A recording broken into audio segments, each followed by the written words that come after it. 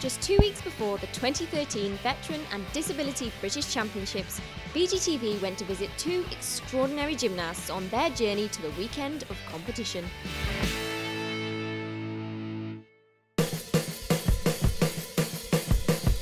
I'm Patrick O'Farrell, veteran gymnast from 1066 Gymnastics in Bexhill.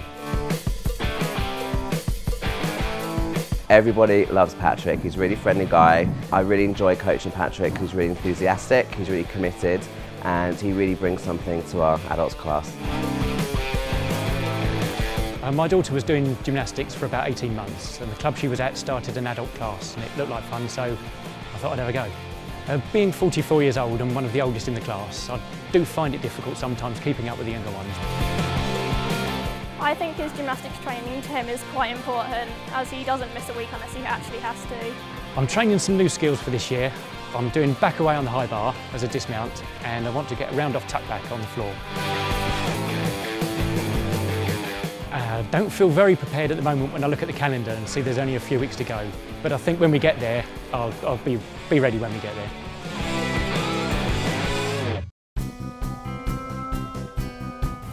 Lauren Lethbridge. I'm a distributionist from the Meapa Gym Club in Kent. I was born very premature, so I've had a chronic lung disease since birth. Disability gymnastics enabled me to, to keep doing what I wanted to do. Lauren's a very strong-willed, determined child um, and she's just as strong-willed and determined as a gymnast. This year, I've spent about six months in hospital and I've had a few operations that have put me out of training. And so I've really not been in the gym for very long and I'm not very prepared at all. She wasn't allowed to start training because of the surgery until October. So for Lauren to have spent so long out of the gym, this is uh, going to be hard. Sometimes she is very poorly and when she is poorly, it's hard but the gymnastics is something that she can focus on and it's always there. Gymnastics to Lauren's very important. It's always been a big part of her life and it gives her the ability to continue with a normal, stable part of her life without thinking about being ill all the time. For me, it's, it's given me something that's normal and something that's constant and, you know, it's everything. hours of hard work in the gym, the weekend of competition soon arrived.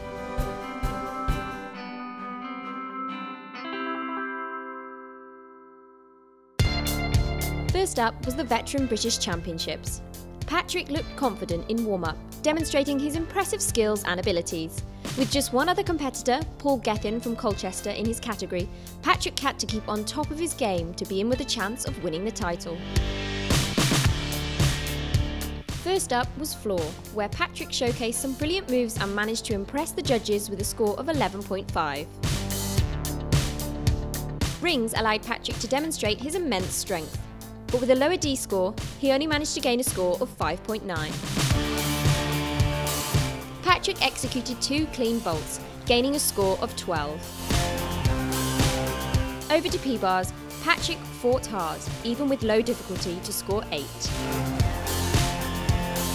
On his final piece, the high bar, Patrick managed to hold his nerve to generate a score of 9.2. I was quite pleased with my competition. Um, I had a few falls and I stepped out of the floor, which was really annoying. Um, but uh, yeah, I was quite pleased otherwise. Didn't do any other glaring mistakes. In veteran gymnastics, only the highest four scores are counted. So, along with a 0.3 age bonus, Patrick managed a score of 41 to take the title. The, the atmosphere is great, very friendly to competitors, all the guys really helpful and they're very supportive as well. We really enjoy it because um, it's, it's a good friendly environment. It's good for those that want to take training through a little bit, something a little bit more serious, they can do that. But it's still quite relaxed and, and friendly, so they still get to enjoy it as well. Veterans gymnastics has impacted my life quite a lot. I really enjoy it. I've made some good friends here. It's a great hobby and people are really interested and surprised when you tell them what you do.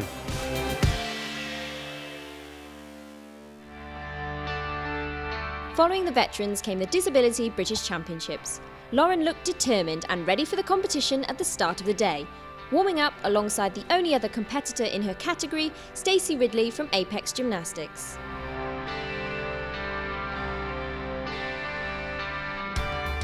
Lauren executed two outstanding vaults, landing a score of 11.5. Over to bars, Lauren seemed really confident, executing a perfect routine in warm-up. However, when it came to the actual routine, a fall on the bar halted the competition for Lauren. In evident pain, and after a lengthy pause, she soldiered on, completing the routine with a solid dismount. With support from her coaches and competitor, Stacey, Lauren was all smiles despite the setback, still getting an impressive score of 9.65. Putting a bar slip up behind her, Lauren performed a stylish beam routine that the judges awarded a score of 11.05. Lauren's floor routine captivated the audience with stylish choreography and fast-paced tumbles, generating a score of 12.2. It's a lot more enjoyable than other competitions I've done. Everyone's just here to, to partake and to do what they can do and to enjoy it. It's not as much pressure as other ones. Everyone's just enjoying themselves. It was a fantastic day of competition for Lauren, managing to beat Stacey to take the title with an overall score of 44.4. Earlier on in the year, Lauren wasn't sure when she spent so long in hospital if she would be able to continue. So I think for Lauren, this is this is a big achievement, and I think she's in a lot of ways come back stronger than she was last year. Oh, I'm really proud of Lauren. Um, I think she always strives to do her best. She struggles when others would give up, and I think that's a true testament to her personality. What I enjoy most about disability gymnastics is that, you know, it lets me keep doing what I love to do. It lets me compete still. And that it shows people that that disabled people do more than, you know, wave blue badges around and steal people's parking spaces. That we can actually do things and